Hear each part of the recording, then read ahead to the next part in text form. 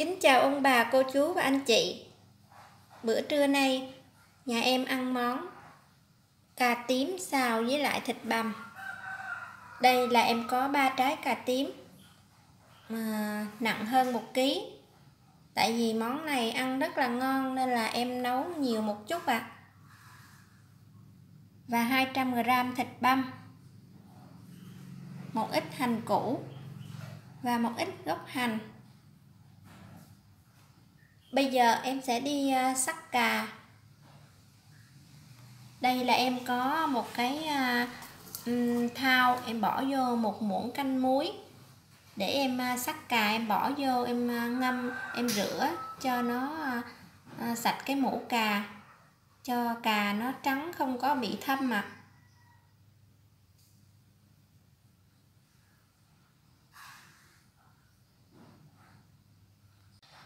và đây là cà em à, cũng đã sắc ra và ngâm nước muối rửa sạch sẽ rồi ạ à.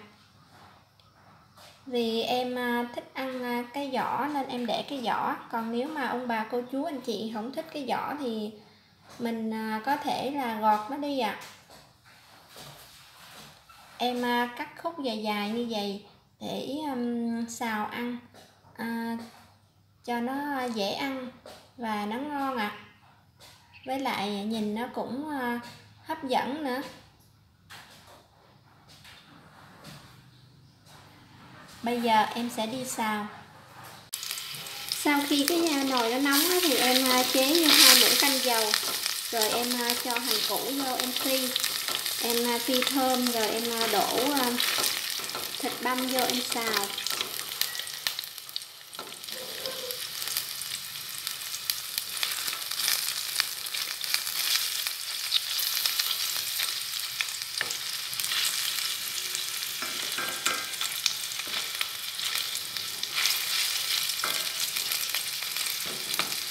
Em à, xào cho thịt nó săn lại một chút xíu rồi em à, sẽ cho cà vô ạ à.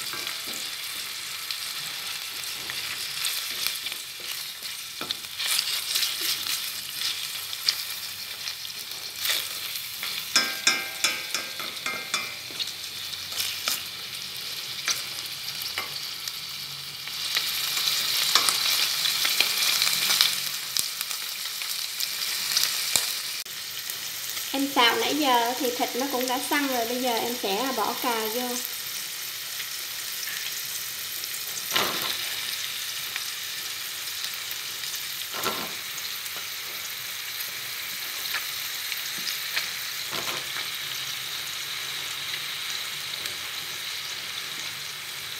Em à, bỏ cà vô, em đảo lên cho nó xẹp bớt rồi em mới à, bỏ gia vị.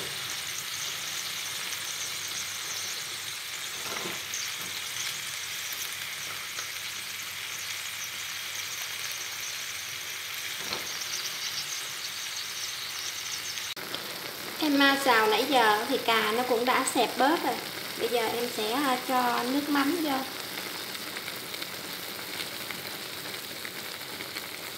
Lúc nãy á, em à, có cho vô đây nửa chén à, nửa chén nước lọc để cho cà nó chín nè và một chút muối trắng. Vì một lát nữa em còn bỏ thêm một chút muối tiêu nên là em bỏ ít muối trắng à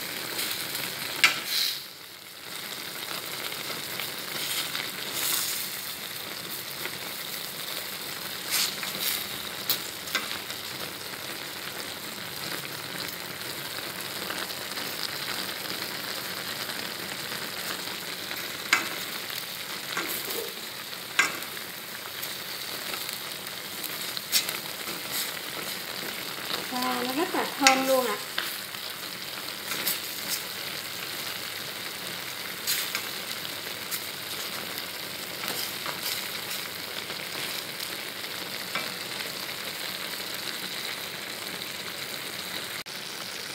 em xào nãy giờ thì cà nó cũng đã chín rồi. Bây giờ em à, sẽ nêm vô một chút xíu, bột ngọt.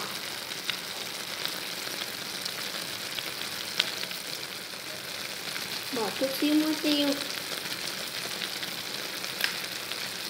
và gốc hành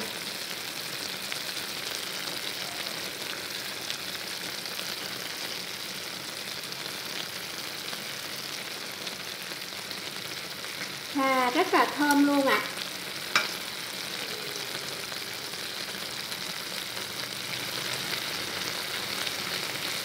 Vậy là em đã nấu xong món cà tím à, xào thịt băm à, khá là thơm ngon ạ à. một món ăn rất là đơn giản dễ làm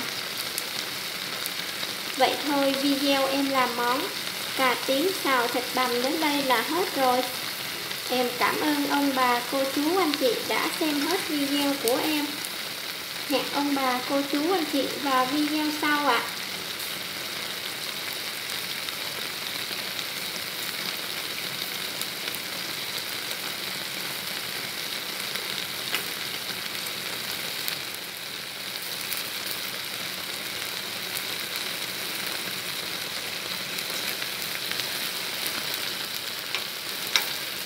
Cà tím xào thịt băm nó rất là ngọt luôn ạ à.